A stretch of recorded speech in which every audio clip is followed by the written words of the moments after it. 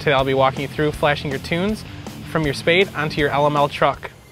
First thing you're gonna wanna to do is turn the truck into the on position, so two clicks forward.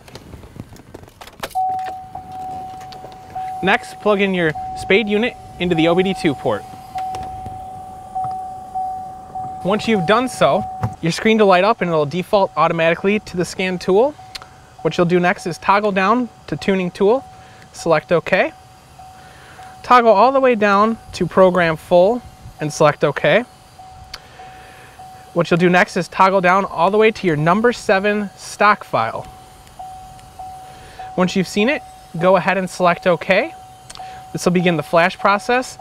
It'll ask you to license your ECU. Go ahead and select OK. It'll ask you if you're sure, select OK again, and then the flash process will completely begin. You'll notice it'll erase first, and then it'll flash for about five minutes. Go ahead and let it run its course. Once it is finished, it'll say ignition off now. Go ahead and turn the ignition off first.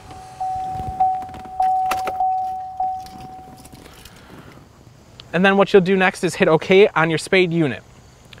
Once you've selected OK, it'll begin a 40 second countdown. Allow it to finish. Once it is finished, you'll be able to load your aftermarket tunes onto the truck. The process is very similar except for one slight step. What you'll do is you'll turn the truck back in the on position, so two clicks forward. Toggle to program CAL, select OK. And then go down between one and six. You have six aftermarket tunes to select from. Go ahead and select either your optimized stock, your heavy tow, your light tow, the sport economy, hot street, or race. Once you've selected which tune you'd like to use, go ahead and hit OK. You'll notice the flash process will be similar. This time it will take one to two minutes, and once it has completed, it'll ask you to turn the ignition off now.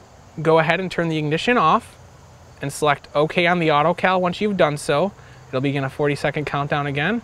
And once it has finished, your tunes have been loaded, flashed successfully onto your truck. Uh, if you have any other questions or need help, any other assistance in any way possible, please don't hesitate to give us a call. It's